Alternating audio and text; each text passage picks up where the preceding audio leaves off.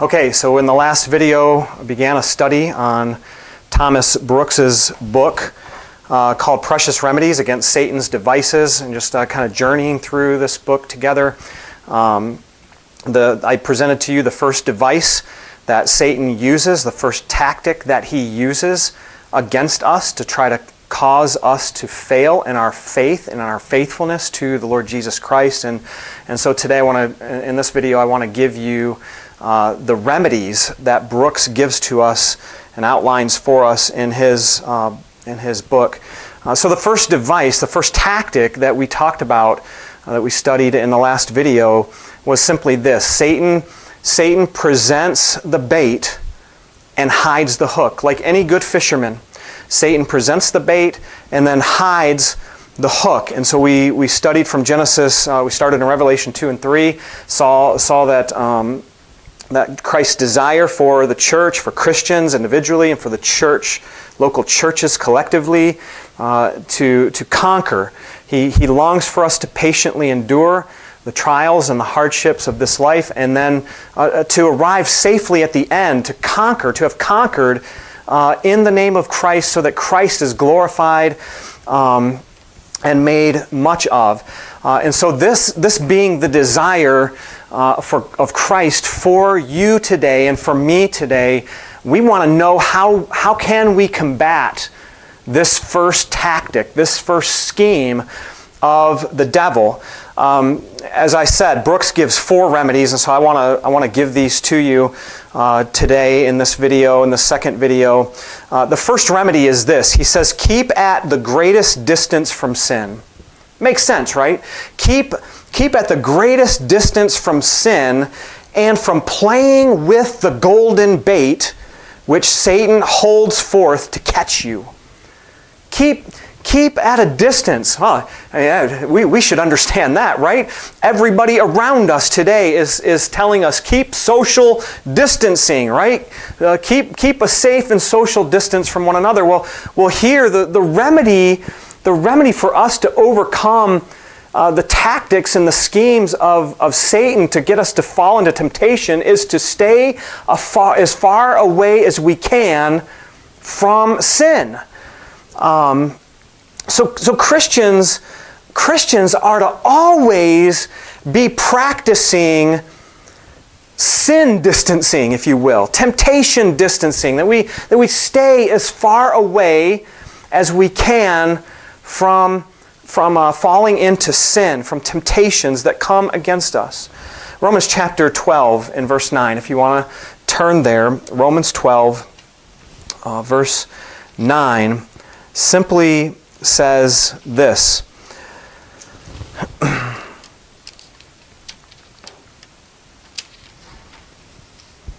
says there, let, let love be genuine, abhor what is evil, hold fast to what is good.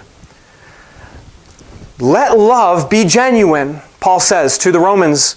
Let love be genuine, not fake, not false. Uh, let your love not be a show for others, but let your love be genuine. Abhor what is evil, hold fast to what is good. The word abhor in verse 9 means to loathe. To loathe, to find repugnant.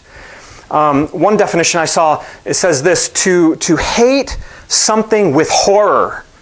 You think about that, to hate something with horror for me, for me, it might, and this is, this is going to be an understatement, but for me, it might be something worse than fried eggs. Okay, I can, I can barely watch somebody, I can barely stand to watch somebody eat a fried egg, let alone to eat one myself. It just turns my stomach. Uh, and if I were to eat one, oh, man, I, just, I, I'm in danger even now of, of heaving. or, or I, I, might, I might think it I might think that, that a bore, this, this idea of abhorring sin, abhorring evil, uh, I might think it far worse than, than drinking Pepto Bismol, which, which triggers my gag reflex and, and immediately induces vomiting. Sorry. Um, but, but, but there are two things fried eggs and Pepto Bismol that turn my stomach. Uh, and, and, so when I think about this word abhor, to, to loathe, to find repugnant, to hate something with horror, that's kind of where, where my mind went. Two things that kind of just turned my stomach. What might it be for you? What turns your stomach? Um, and, and, then as you, as you identify that, just, just understand that whatever we identify, whether it's a fried egg or Pepto-Bismol or whatever, um, what, what the Bible is commanding us here is, is to hate sin with a greater hatred, to, to have sin turn our stomach with greater, a greater force, with a greater intensity than even that thing, fried egg, Pepto Bismol, then even that would turn our stomach. Sin, sin should be even more repulsive to me than those two repug- repugnant and loathsome substances that I talked about. And so, what would you liken it to? On the opposite end, verse 9 also tells us to hold fast to what is good. So, so abhor what is evil, but hold fast to what is good. Hold fast means to cling, to cling on to what is good. Stick to what is good. Stick to it. Uh, we, ought to, we ought to stick, we ought to cling on to that which is good, to that which God loves, to that goodness which represents fully and completely the character of, of our gracious and good and merciful God. That, that Christians, that Christians, we ought to be pursuing and loving and clinging onto anything and everything that, that represents the goodness of God. Anselm, famous Christian dead guy, Anselm used to say that if he should see the shame of sin on one hand and the pains of hell on the other, and, and if he must choose one, the shame of sin or the pains of hell, he said he would rather be thrust into hell without sin than to go into heaven with sin. Wow. He would rather be thrust into hell without sin, if he had to choose one or the other, he'd rather be thrust into hell without sin than to, than to go to heaven with sin. Because, why, why is that? Why did he think that? Well, because sin is such an affront to the holiness and to the goodness of Almighty God that, that, listen, those of us who name the name of Christ should have that much of a hatred, that much of a despising for for that which demeans the character of God, the holiness of God. Think in terms of the men and women of the Bible and relate which ones fled from sin and which ones danced next to the edge of sin. Uh, they, they, get right up to the edge of the pit. They get as close as they can uh, to the edge and they flirt with sin, saying, Oh, sin will never take me down. They're, they're overconfident, they're prideful in their own ability to overcome sin, so they get right up next to the edge, which, which quite frankly is the human tendency. We all tend to want to see in our humanness just how close we can get to the edge without going over. So, so think about the men and women of the Bible and, and think about which ones fled from sin and which ones danced with uh, and flirted with sin and the temptation? Well, immediately Joseph comes to mind. Joseph fled sin at the cost of being wrongfully imprisoned. Joseph would rather be thrown into prison without sin than to live in Potiphar's house and, and having sinned against Potiphar and his wife. Now think about it. That goes right in, right hand in glove with what Anselm said. Joseph loathed sin so much that he was, he was willing and did end up being wrongfully imprisoned. Um, he fled sin. David, on the other hand, King David, a, a man who the Bible describes a man after God's own heart, David danced on the edge of the pit as he leered over his balcony at the naked Bathsheba, and then he allowed his heart to linger there And his desires, he allowed his desires to be swept away to the point where he took what his sinful desires wanted. Here's a timely quote from Thomas Brooks. I say it's timely because it relates very much to, to the situation that we find ourselves in today in quarantine uh, because there is a pandemic and, and our movements are limited. And we have, we have this curse of a virus that the whole human race is, is fighting against. What Brooks says is this sin is a plague. Sin is a plague.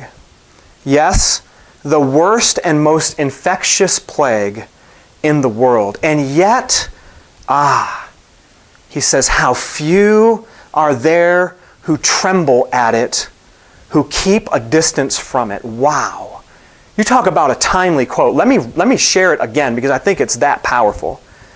Sin is a plague, yes, the worst and most infectious plague in the world, and yet, ah, how few are there who tremble at it, who keep a distance from it. I didn't add that last part, he said that.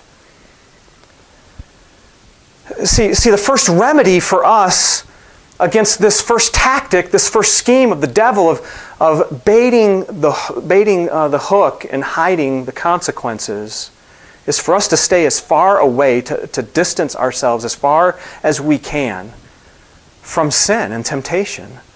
There, there, there, there are some powerfully awesome spiritual parallels with what is happening in our world today maybe none more powerful than, than what's brought out by this quote from Thomas Brooks.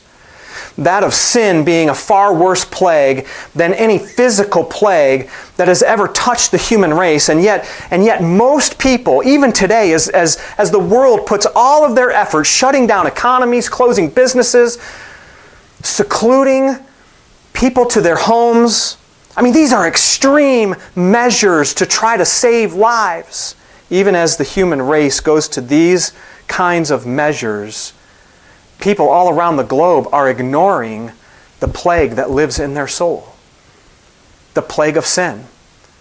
The plague of sin that, that, will, that will cost them their lives, that would, would have cost me my life, my eternal soul, would have cost me my soul had I not turned from my sin and trusted in Jesus Christ as my only hope, as my only Savior, the crucified and risen Christ. People, people are going to great lengths to fight against an earthly virus, a physical virus, when they're ignoring, they're blind to the spiritual virus of their soul. The sin, the plague of sin.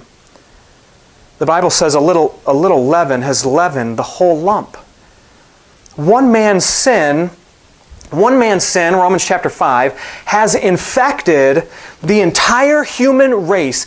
So, so it started with one person infected in the Garden of Eden when Adam stood by and passively watched his wife eat of the fruit that God had forbade them to eat of, and then took himself, took, of, took it himself and ate it himself.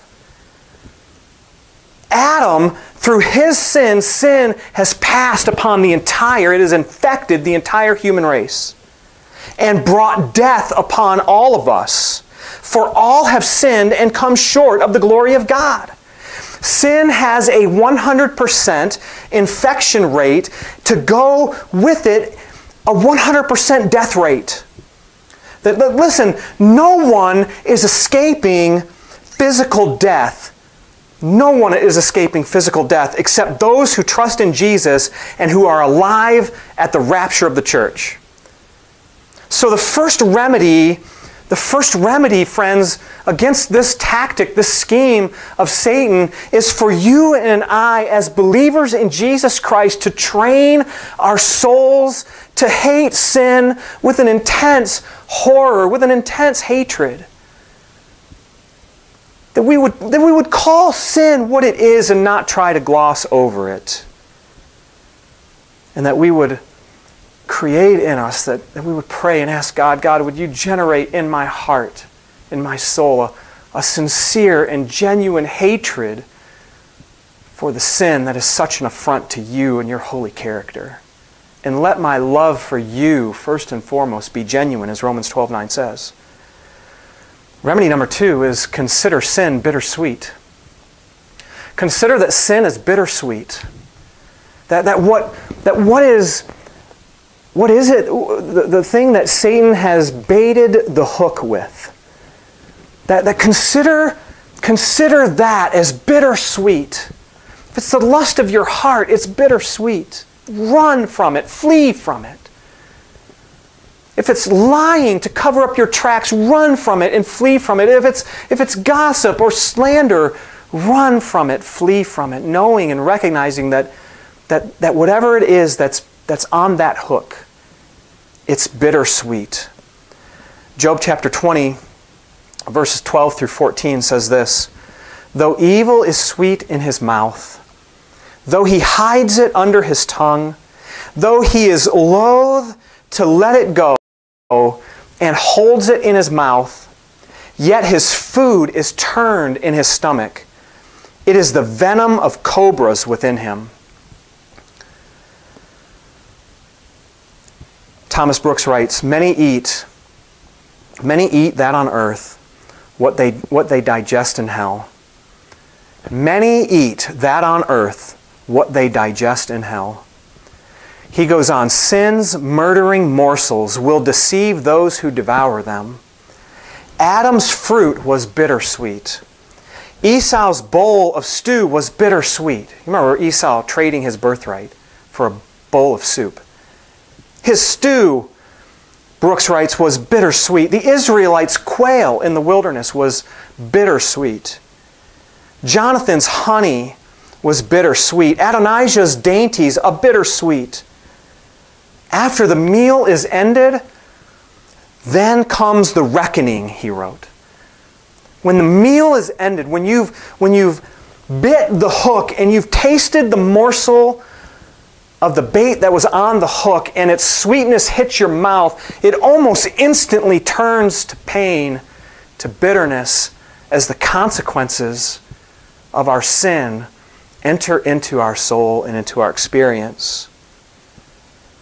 A person gives himself to excessively drink alcohol, and at first it masks his pain and suffering even making him forget his problems and, and even in the moment to feel good. But then the violence comes, doesn't it? Then the violence comes as his stomach rejects the substance and sends it back from where it came. Sin is the same way. And that's what, that's what Job 20 talks about, verses 12 through 14. Sin masks life's sorrows for a moment. But then the violence of the consequences hit home. There's pleasure in, in sin for season, but then the day of reckoning comes then the consequences settle in to our life and to our souls and to our experience, to our, to our day by day living. The shame of sin, the pain of sin, the destruction that comes upon us is far worse than the original trouble from which we were fleeing. Though evil is sweet in his mouth, though he hides it under his tongue, though he is loath to let it go and holds it in his mouth, yet his food is turned in his stomach. It is the venom of cobras within him.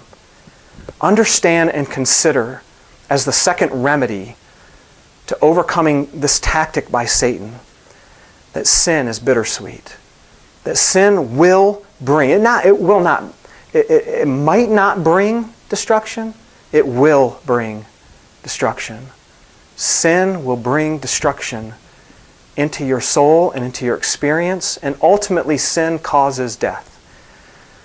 Remedy number three that Brooks gives us consider that sin will usher in the greatest and saddest losses that can be upon our souls. Consider that sin will usher in the greatest and saddest losses that can be upon our souls. There are many earthly losses that we suffer as a result of our return to sin as believers. I'm talking about believers now that, that as believers, we've been unshackled from the power of sin. Sin no longer has dominion over your soul or over my soul if we are in Christ Jesus. We are free from slavery to sin. That which once chained us, uh, those chains have been broken and we have been loosed. We have been set free. Sin no longer has a hold on us, and yet for us to return to sin, for us to return to sin is, is such an affront to our crucified Savior whose blood has covered our sin and forgiven our sin. See, there are, there are many earthly losses that we suffer as a result of our return to sin, but none of those compare to the loss of the joy of being in right, right relationship and right fellowship with God and having His favor on us. See, that's the, that's the key loss when a Christian when a Christian sins again, which we all do. But the key loss is a, is a break in fellowship a break in the fellowship between us and God. When God's children sin, He must correct us in order to train us and conform us to the image of Jesus Christ. And that's what discipline is, right? It's training. God disciplines those whom He loves, Hebrews chapter 12. He trains those whom He loves. The saddest loss that we can experience, we Christians, uh, that, that we Christians can experience, is the very loss that Jesus suffered on the cross so that we could be reconciled to God. To haphazardly sin is to trample on the finished work of Christ. And so today, consider as, as the third remedy to this first scheme, this first tactic of Satan to bait the hook, to hide the consequences. Consider that sin will usher in your greatest losses, my greatest losses, yours and my greatest sadness that could ever enter in upon our souls.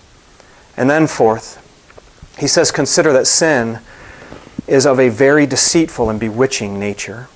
Sin is of a very deceitful and bewitching nature.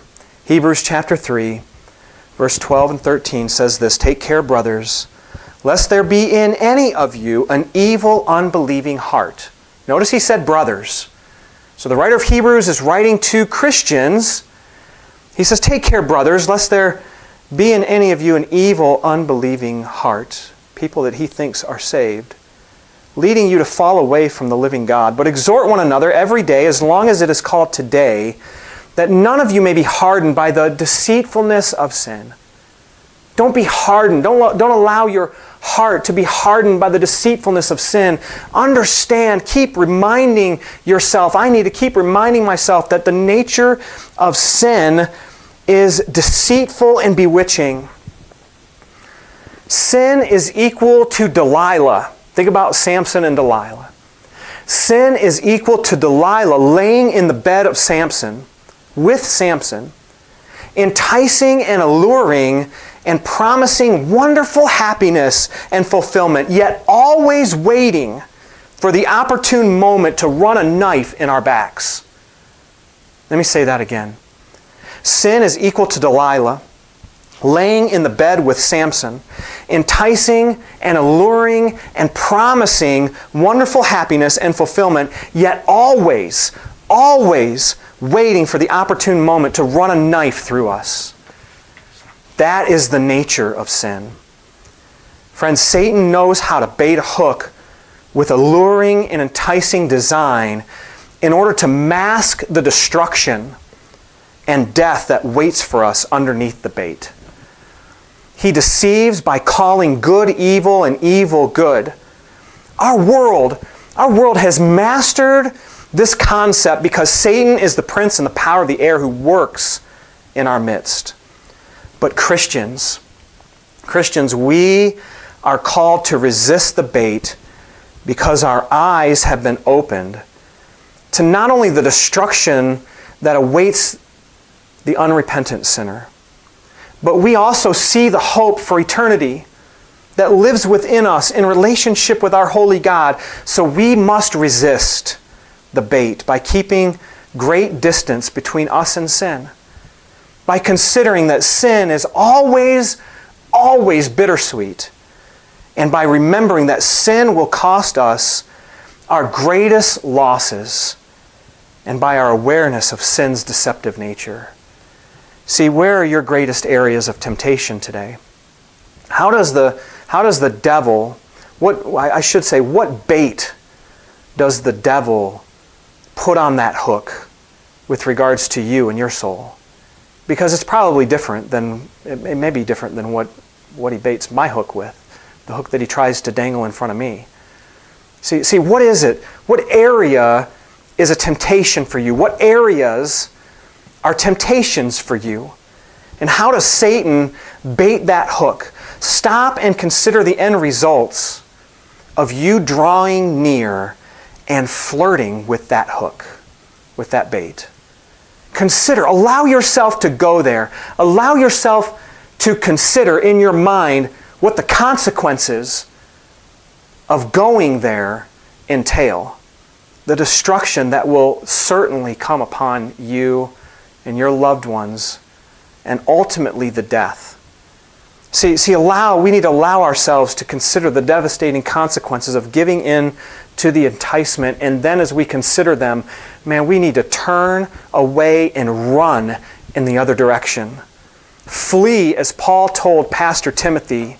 He says in 2 Timothy 2.22, Flee youthful passions and pursue righteousness, faith, love, peace, along with those who call on the Lord from a pure heart would you take some time today and just wrestle, wrestle over this? Ask yourself, do a little heart evaluation and say, yeah, what are the, what are the, what are the baits that, that Satan puts on that hook to try to lure me in? And then how can I take these four remedies?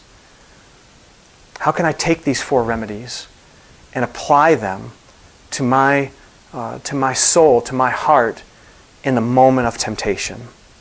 Let me pray and ask for God's help for us. Father, we thank you that you have made us keenly aware of the schemes, the tactics of our adversary. I thank you, Father, that you have not left us without help. That, Father, we have the power of the Spirit of God in us. The chains of sin have been broken. And that, God, I pray for myself, for every person who hears this, who truly knows you as Savior, that, God, you will help us Help us to be keenly aware of the bait that Satan would use to tempt our, our souls so that we can apply these remedies with wisdom, with skill, with precision, so that we can overcome, so that we can endure and persevere, and ultimately arrive, arrive at the shores of your presence having conquered, having conquered in the powerful and wonderful name and spirit of Jesus Christ. And so I pray it in His name and for His glory. Amen. God bless you. Have a good day.